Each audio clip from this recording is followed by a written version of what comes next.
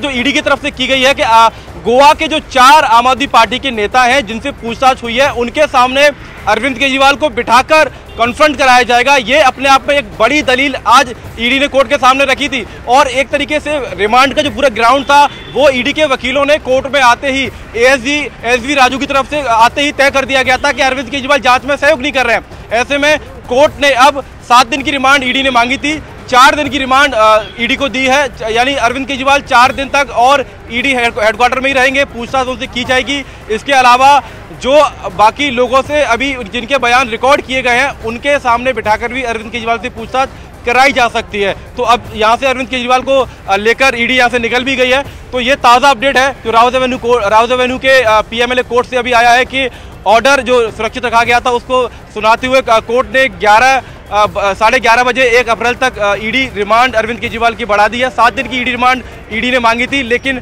सिर्फ़ चार दिन की कोर्ट से रिमांड ईडी को मिली अरविंद केजरीवाल ओके मैडम मैं चाहूँगी क्योंकि देखिए अभी अभी फैसला आया है मुझे पता है कि वो जो भी फैसला लिखित में होगा उसे पढ़ने में समय लगेगा लेकिन अगर कोई ऑब्जर्वेशन है तो ज़रूर हमारे दर्शकों को बताइएगा। आनंद भी हमारे साथ जुड़ चुके हैं। आनंद जो बात आप पहले कह रहे थे वो सही साबित हुई है कि देखिए रिमांड तो मिलेगी इस मसले पर क्योंकि ईडी के पास पुख्ता सबूत है लेकिन वो रिमांड जो सात दिन की मांगी थी उसे चार दिन का किया गया है। अब इन चार दिनों में ईडी की तरफ़ से एक तो आमना सामना होगा और जो बातें ईडी ने कही है कि पासवर्ड नहीं दे रहे हैं, फ़ोन लॉक हमें अनलॉक करना है, वो नहीं हो पा रहा है। हमारे साथ किसी तरह का कोऑपरेशन अरविंद केजरीवाल की तरफ़ से नहीं देखने को मिल रहा है। तो क्या ये चार दिनों में इन सारे के सारे सवालों के जवाब मिल जाएँगे जो ईडी चाह रही है या खोज रही है?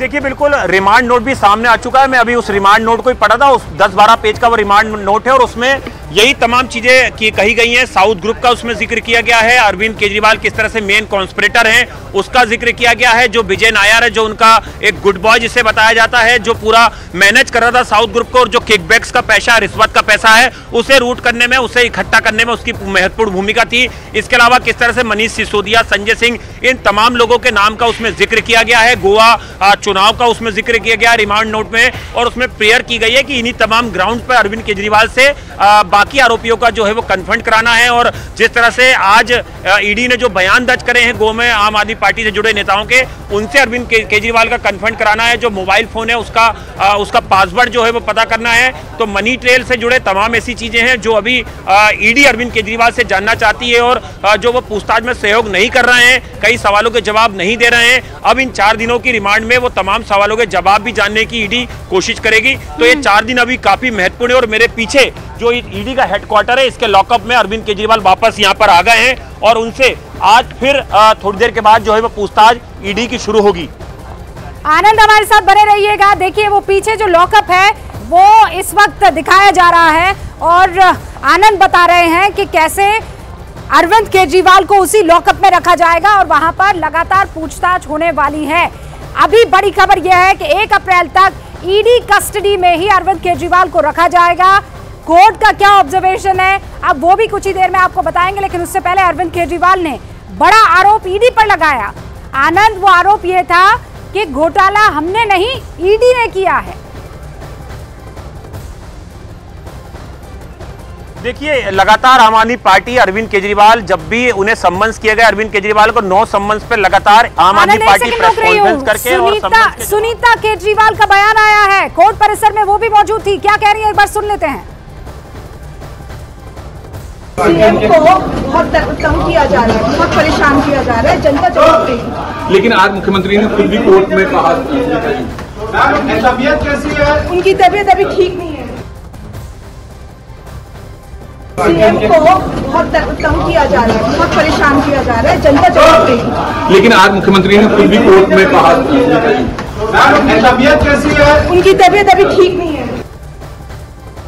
सीएम को बहुत तंग किया जा रहा है बहुत परेशान किया जा रहा है जनता जवाब देगी लेकिन आज मुख्यमंत्री ने खुद भी कोर्ट में कहा तबीयत कैसी है? उनकी तबीयत अभी ठीक नहीं है। बड़ा आरोप यहाँ पर सुनीता केजरीवाल लगाती हुई क्या कह रही है कि ईडी उन्हें परेशान कर रही है और जनता जवाब देने वाली है। ये मामला अब सीधे तौर पर आनंद देख रहे हैं। ईडी पर आरोप को लगाकर हो रहा है। एक होता है कि आप अपने आप को आरोपों से दूर रखने की कोशिश कर रहे हैं। लेकिन दूसरी तरफ़ ईडी पर अरविंद केजरीवाल हो या फिर उनकी धर्मपत्नी दोनों ये आरोप लगा रहे हैं कि वो उनको परेशान कर रहे हैं। और दूसरा ये कि घोटाला आम आदमी पार्टी अरविंद केजरीवाल या उनके उनके जानने वालों ने नहीं बल्कि ईडी खुद कर रही है। देखिए ये पहली बार आरोप जो है वो ईडी पे आम आदमी पार्टी अरविंद केजरीवाल ने नहीं लगाया है। उन्हें नौ बार सम्मान किया गया और हर मानव के साथ मानव के साथ एक, एक वकील नज़र आ रहे हैं जरा उनका रुख करते हैं। हाँ मानव। मेरे साथ दीपक है और आम आदमी पार्टी के लीगल सेल से भी जुड़े हुए हैं। आप कोर्ट के अंदर भीतर मौजूद रहे। आम आदमी पार्टी का ज़िक्र आता है 45 करोड़ रुपए गोवा चुनाव में इस्तेमाल किए। चार और लोगों से पूछताछ हुई है। इसको लेकर क्या कुछ कोर्ट में हुआ है आज?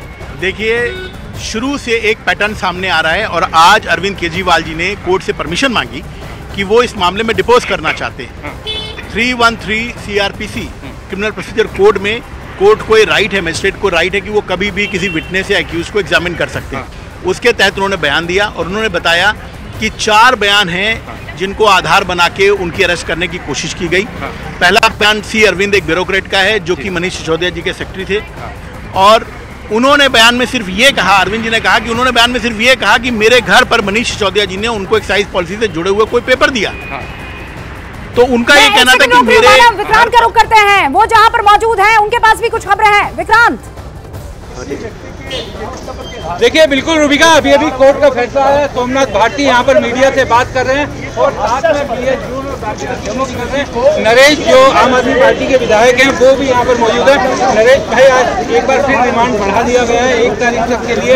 आप लोगों ने कोशिश की थी, सीएम ने की भी रही थी, लेकिन रिमांड बढ़ा दिया।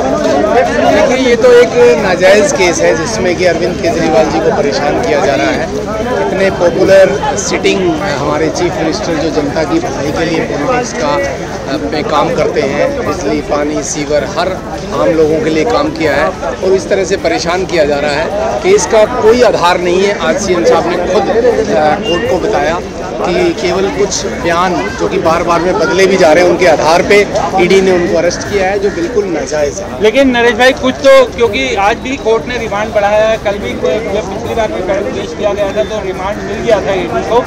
ईडी का ये कहना है कि अभी जाँच चल रही है कुछ और लोगों के बयान लिए जा रहे हैं। कोरोबरेट करवाना है कई लोगों के साथ आमना सामना करवाना है। तो जाँच तो एक तरह से होनी चाहिए इस मामले की। जाँच के लिए केजरीवाल साहब ने बिल्कुल स्पष्ट कहा है कि हम हर तरह से सहयोग करने के लिए तैयार हैं। मुझे किसी तरह का कोई एतराज़ नहीं है। लेकिन उन्होंने स्पष्ट किया है कि जो स्टेटमेंट्स उनकी चार स्टेटमेंट्स जो दिए, उसके बारे में बिल्कुल क्लियरली बताया है। कहीं भी उनके ऊपर एलिगेशन नहीं लगाया गया। तो कोर्ट को ये संज्ञान लेना चाहिए कि जब उनका कहीं कोई ऐसा इन्वॉल्वमेंट नहीं है तो क्यों उनका रिमांड दिया जा रहा है? क्यों उनके ऊपर, क्यों अरेस्ट किया गया है? तो ये तो बिल्कुल नाजायज़ है। तो रूबिका, यहाँ पर क्योंकि आम आदमी पार्टी के विधायक भी हैं, नरेश और पेशे से वकील भी हैं, यहाँ पर हमें बता रहे थे कोर्ट के अंदर क्या हुआ। सोमनाथ भारती भी इस समय मीडिया से बात कर रहे हैं। तमाम आम आदमी पार्टी की आज पूरी दिल्ली सरकार की कैबिनेट आज कोर्ट में मौजूद थी, जिस समय अरविंद केजरीवाल को पेश किया गया था। सभी सभी मंत्री यहाँ पर मौजूद थे। इसके अलावा अरविंद केजरीवाल की पत्नी, उनके दोनों बच्चे, वो भी कोर्ट में मौजूद थे और कोर्ट की परमिशन से उनकी मुलाकात भी करवाई गई थी।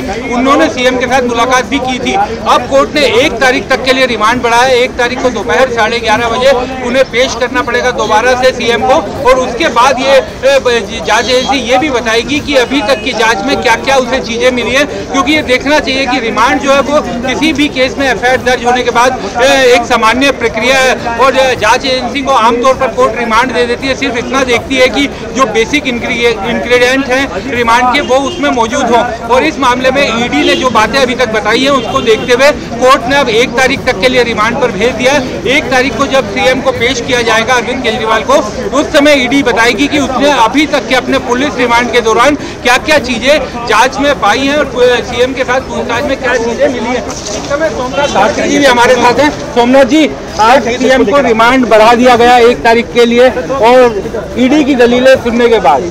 बहुत दुर्भाग्यपूर्ण है जो हो रहा है।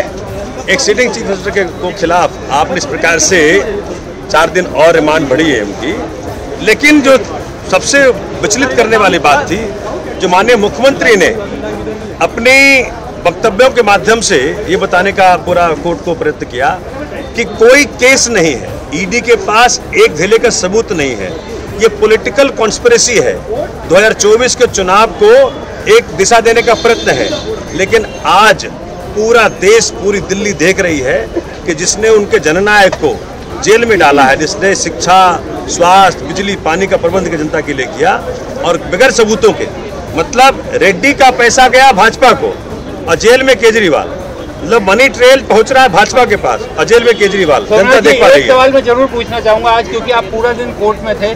आप नई दिल्ली सीट जो सीएम की अपनी कॉन्स्टिट्यूंसी है वहाँ से प्रत्याशी भी है। पूरा दिन तो इस केस के सिलसिले में आप कोर्ट में बिताना पड़ रहा है। प्रचार वगैरह ठीक चल रहा है? देखिए जनता खुद प्रचार कर रही है। मैंने कल जैसे मैंने परसों देखा कि इन्होंने मुझे डिटेन कर लिया। तो मेरे चारों नेता जेल में और मैं डिटेन और भाजपा के नेता भी बाहर। भाजपा के प्रत्याशी भी बाहर। तो जनता कह रही है सोमराज चिंता ना करो।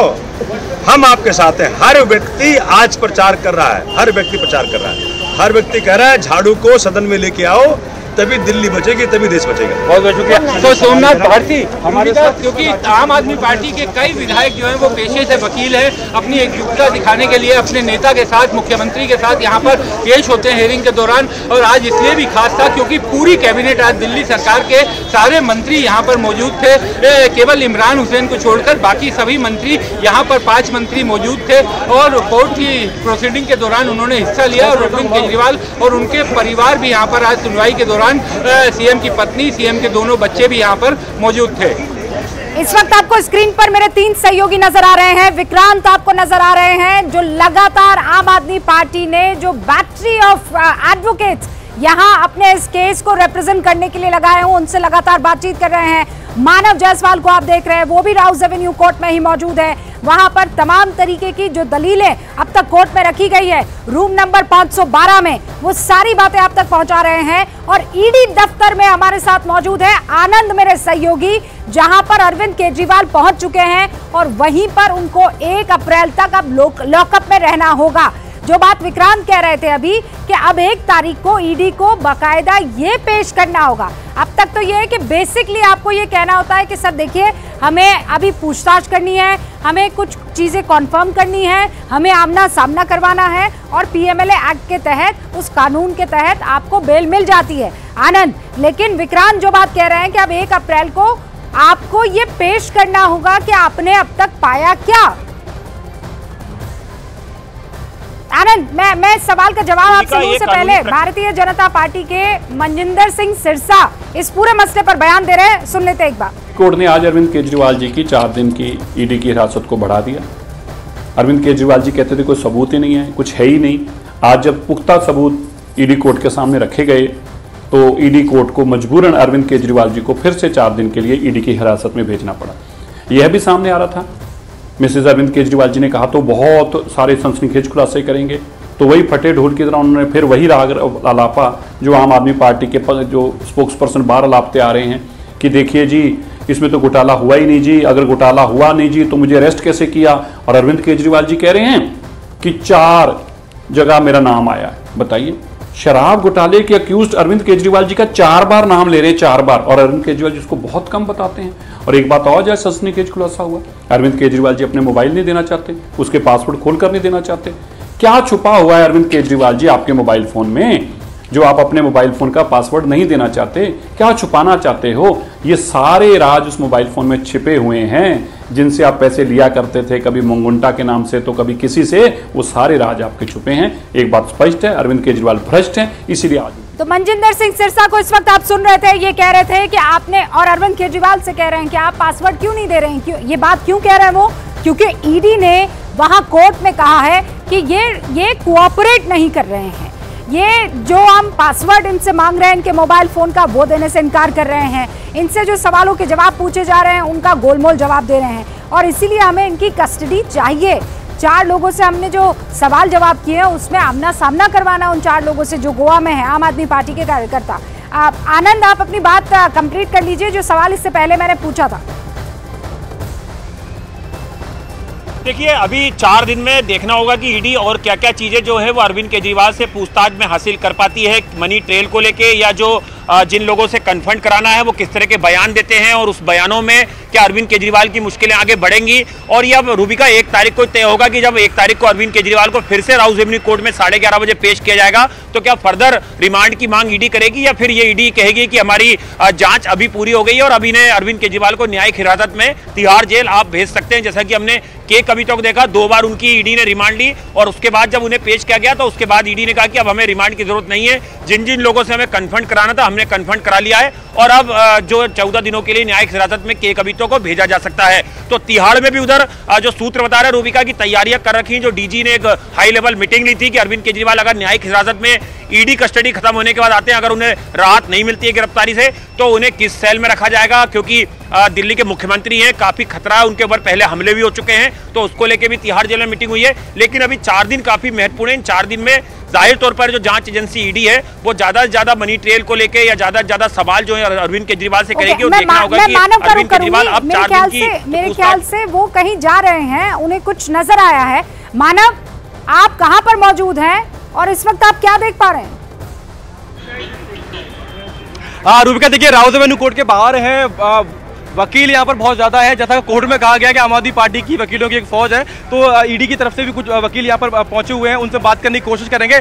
लेकिन दो से तीन चीज़ें यहाँ पर बहुत बड़ी हुई है कोर्ट में। एक तो इलेक्ट्रॉनिक डिवाइसेस को लेकर जो कुछ ईडी की तरफ़ से कहा गया है कि अरविंद केजरीवाल अपनी इलेक्ट्रॉनिक डिवाइसेस के पासवर्ड्स नहीं बता रहे हैं और अरविंद केजरीवाल कह रहे हैं कि जो हमारे वकील है, उनसे हम बात करके आगे की बात अपनी करेंगे पासवर्ड आपको देंगे, और इसके अलावा एक जाँच में सहयोग करने की जो बात है, देखिए, जब गिरफ्तारी हुई थी, उस रात भी अरविंद केजरीवाल गिरफ्तारी के समय भी ईडी की तरफ़ से ये कहा गया था कि उन्होंने जाँच में सहयोग नहीं किया, पूछताछ में सहयोग नहीं किया, गिरफ़्तार किया जा रहा है, और उसके बाद आज जब एएसजी एसबी राजू जब कोर्ट पहुँचे तो पहली दलील उनकी तरफ़ से यही आई कि अपनी बातें गोलमोल तरीके से अरविंद केजरीवाल रख रहे हैं। उनके बयान रिकॉर्ड हुआ है लेकिन अपनी बातों को गोलमोल तरीके से रख रहे हैं। यानी रिमांड का जो आधार था ये वो पहली दलील से ही ईडी ने बनाना यहाँ पर दी जा रही थी आप लगातार वो दलीलें न्यूज़ एटीन इंडिया के दर्शकों तक पहुँचा रहे थे और कोर्ट रूम में विक्रांत मौजूद थे जो इन दलीलों को बकायदा सुन भी रहे थे नोट भी कर रहे थे। विक्रांत आज कोर्ट ने एक तारीख तक रिमांड पर तो भेज दिया है। कोई ऑब्जर्वेशन है जो उनकी तरफ़ से आया है? पहला सवाल। और दूसरा ये भी कि अरविंद केजरीवाल आते हैं वो अपनी तरी, तरी अपनी तरफ़ से बातें रखते हैं और कोर्ट को ये कहना पड़ता है कि आपने ये बातें लिखित में क्यों नहीं दी?